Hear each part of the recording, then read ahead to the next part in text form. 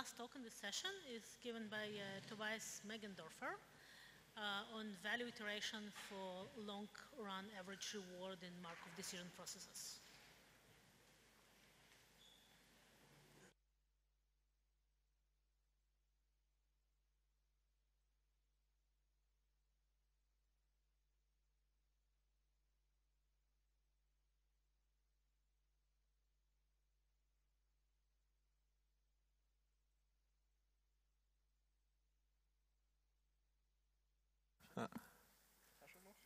Yep. Okay, this, yeah, this, this works. Uh, okay, yeah, thanks for the introduction. Um, this is joint work uh, with uh, Pranav, who's here in the audience, uh, Krish, Przemek, and my supervisor Jan. Uh, let's jump right into it because, yeah, lunch is coming close. Um, first, I'm going to tell you about what you have to expect and why you should pay attention. Um, so what we're trying to solve uh, in the paper is the problem of long-run average reward on MDPs using value iteration. Some of you may know long-run average reward under the name of mean payoff or limit average reward, and there exists a gazillion of names for it. So uh, and it's also actually a quite old problem, but it turns out that uh, iteration approaches actually only exist for subclasses, but not for the general problem. So we just try to tackle that.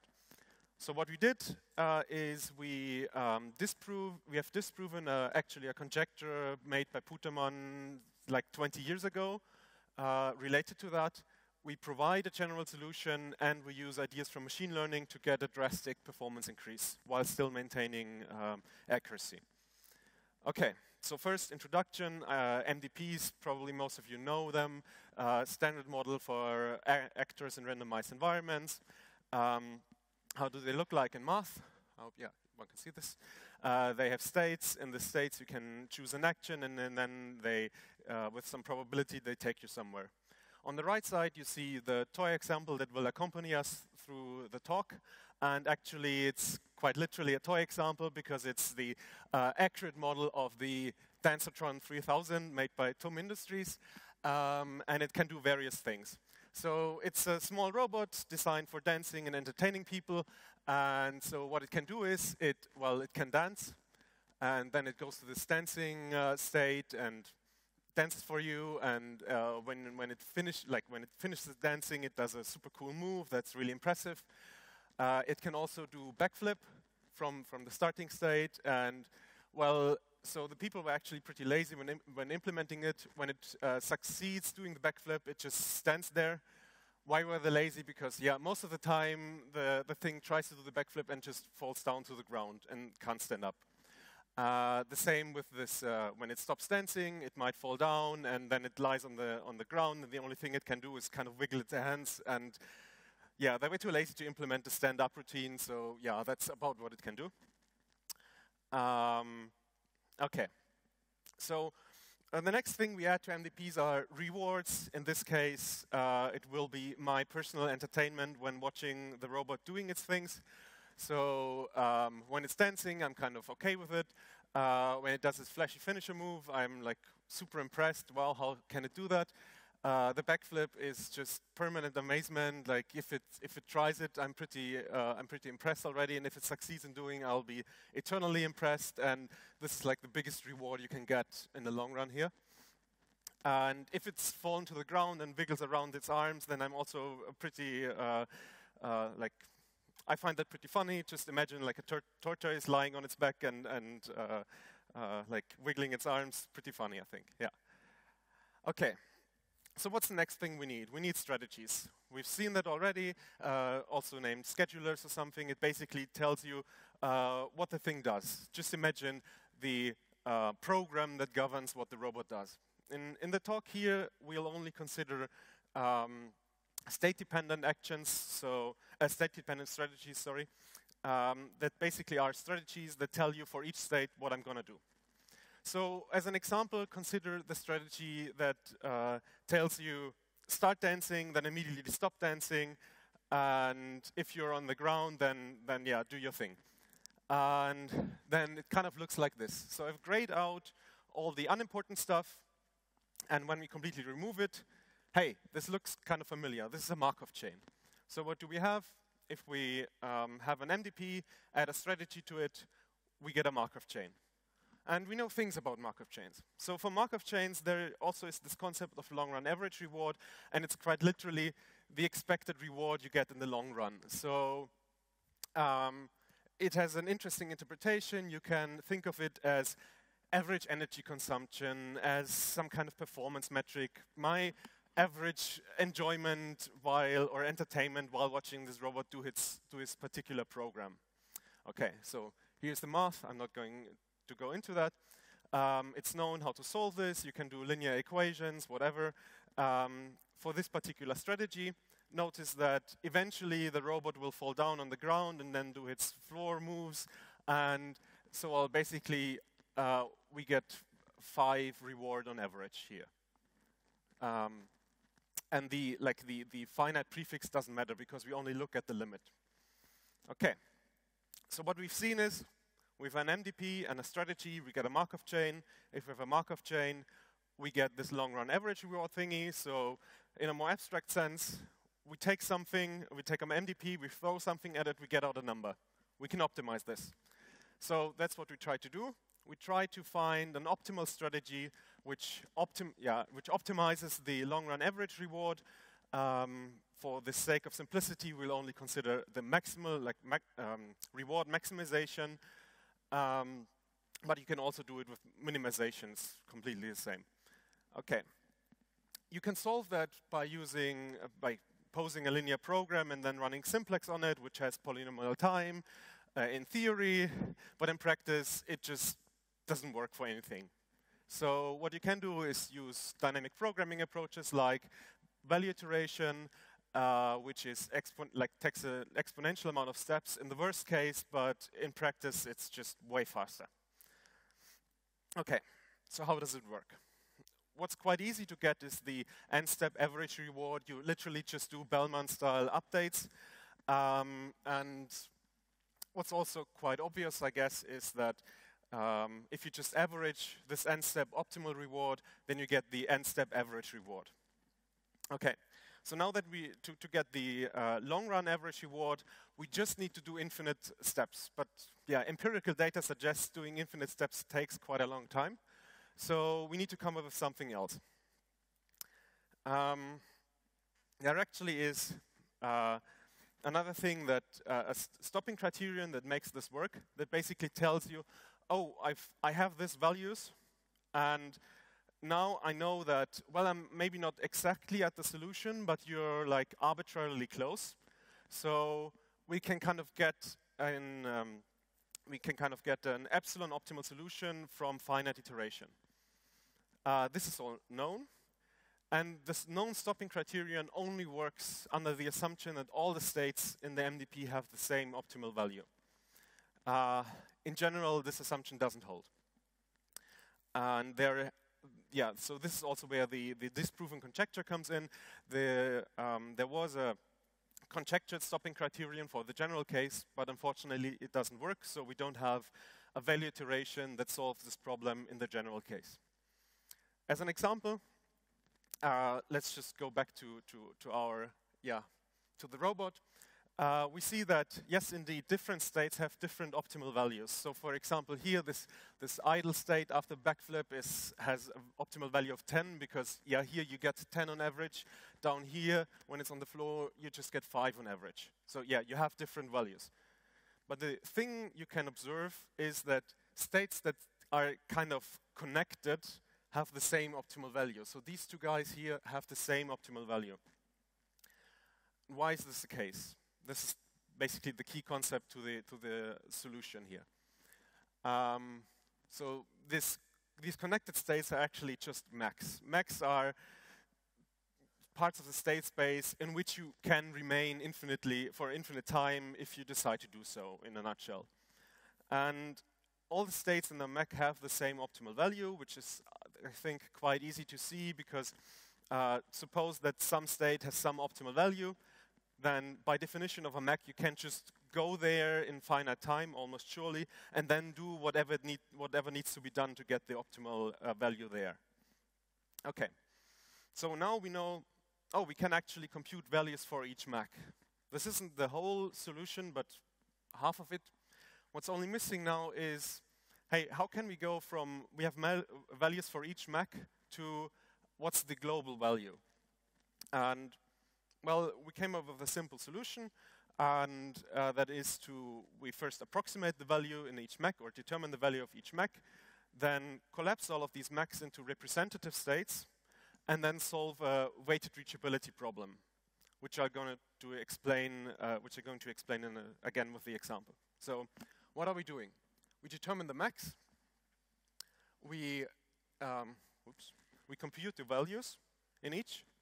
Okay, so up here we have a value of 4 because the best you can do while remaining in here is just, yeah, continue dancing.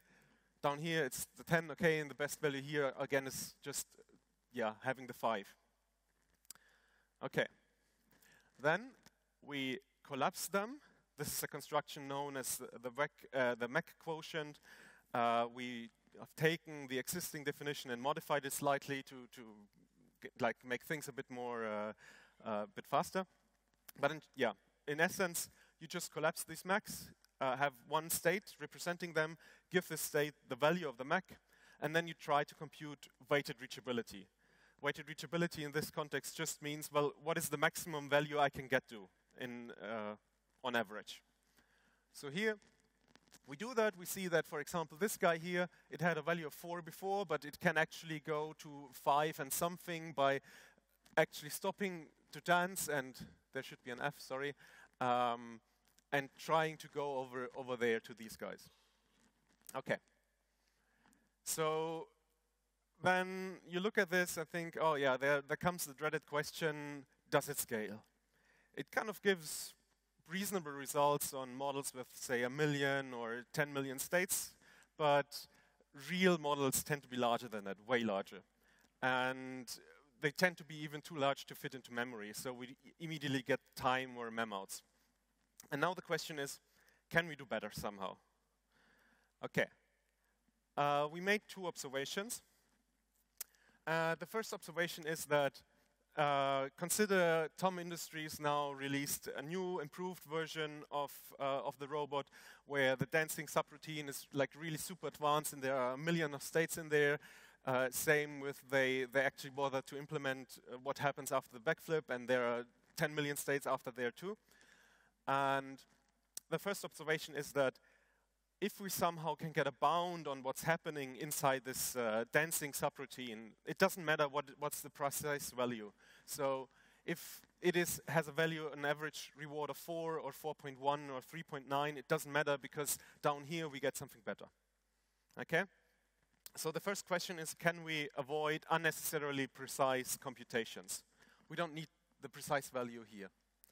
The second question is, well, what happens after the backflip actually really doesn't matter because it happens with so little probability that if our like if the the precision we want to have is uh, like reasonable enough, then we don't actually need to compute what's happening over there at all. So we don't need to look at the states at all, given that we have some kind of upper bound on the reward you can get. So if the user tells us, or if I say, well, the most entertainment I can get is 20 or something per time unit or per step, then I don't need to bother to look at what's over there because I can only get 20 at most, and it happens with such little chance that, yeah, why should I look at it? And so we made this observation, and spoiler alert, yes, we can do this. And we're using for this statistical methods and ideas from machine learning. Uh, the idea is more or less described as bounded real-time dynamic programming. That was mentioned before already. Uh, the only assumption that we make is that you kind of get an upper uh, bound on the reward, which is, I think, a reasonable assumption. So what do we do? Um, we basically, we initialize lazily, we give all the states a faithful upper and lower bound uh, which is also related to, to the um, ideas presented previously. Uh, we just initialize it with uh, zero and the given upper bound. Okay, and then we, we you, yeah, this is where the statistical methods come in. We sample a path and then we somehow update the values along this path by something by a method I'll explain in, in, on the next slide. And we'll just terminate when the bounds are close enough in, in the initial state. So basically, where we want to know what the um, what the values are. Okay. So the difference between the bounds kind of give us a level of uncertainty. If a state has high difference between the bounds, we have high uncertainty. If it's very, very close, like 10 to the minus 6, we kind of know what the value of this state is. And now the idea from machine learning basically just is let this uncertainty guide our sampling, because this kind of balances then exploration versus exploitation. If we are unsure about some region, we explore it. If we're sure that it's bad, we don't explore it. And now we have this bounds per state, and we need to update them. The very high level idea, this is actually where kind of the, the central part of the paper lies, um, is tricky, but the high level idea is yeah, that you sample paths, this gives you a, a submodel. Basically, you, you, you, haven't seen all the states, you just, you just memorize the states you have seen so far. Uh, in this submodel, you repeatedly determine MECs, collapse them, and in these MECs, you approximate the values using the previous approach. And um, whenever the algorithm decides, hey, this region looks interesting, then you refine the values. And yeah, you kind of, yeah, when the MEC has promising upper bounds. But yeah, it's kind of tricky, so if you're interested in this, just look at the paper. Uh, I don't have time to go into that, unfortunately. So yeah, now that's the theory. Now give you the numbers. The numbers are, I think, quite good. We compare to the only tool we found doing uh, mean payoff, which is multigain. It's actually built for um, multi-objective multigain, so the comparison isn't completely fair, but as you see here, we just completely beat it in, in, any reasonable model, and we also improved the implementation a bit to get these numbers down to more like, say, 50 and 80 or something. Okay.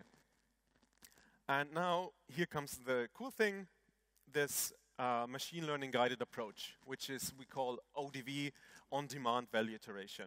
And the most interesting model is the zero-conf model, uh, which has, in this instance, like 4 million states. But to compute a um, pr uh, value precise to 10 to the minus 6, we only needed to explore like a thousand states of this million. And yeah, we needed 16 seconds to do that. In a new implementation, we got this down to roughly a second or something. Uh, so it really works. For some models, for other models, it's the same as, as the previous approach. It just depends on the topology. If the whole region of the state space is interesting, you have to explore everything. There's no way around it. Okay. So in summary, what have we done? We've shown that uh, value iteration does not work out, uh, out of the box in general. We provided a simple solution, which is a divide and conquer approach. Um, this already beats existing methods by a huge margin. Uh, even better, we use machine learning to identify important parts and then focus our, our um, computation on that. And this is kind of the, the key takeaway note uh, I want to give in this talk is you can actually use machine learning for verification without sacrificing um, precision. You just use machine learning in some way to identify the important thing and then, then do what, whatever is the, the right thing to do there. And well, the uh, further work, more sophisticated machine learning. I mean, this is kind of a, a, simple machine learning idea. They have that for, for a long time. Maybe we can use some kind of neural network, something to do a bit more interesting stuff. Okay, that's all, folks. Uh, so now it's time to ask questions or go for lunch. Your choice.